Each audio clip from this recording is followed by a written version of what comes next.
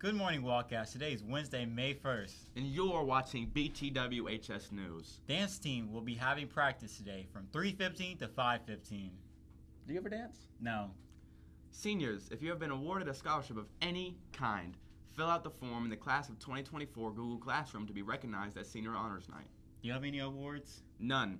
That's fair. Also, there will be a senior movie, Mante, on Friday from 3:30 to 5:30 in the auditorium room. We will be watching High School Musical 3. The event is free and snacks will be provided. Love snacks.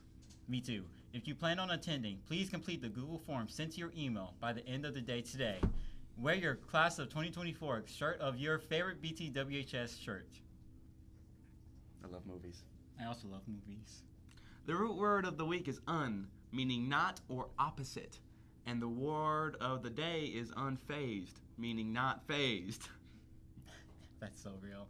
Today is a B day, so please report to your fifth period class. Fifth period. Want to stay updated on the latest at Booker T? Follow us on Instagram at BTWHS News. That's all for BTAWHS News this morning. Happy May Day, Wildcats. Also, there's only 21 more days of school, And 16 for seniors. like us. That hurt.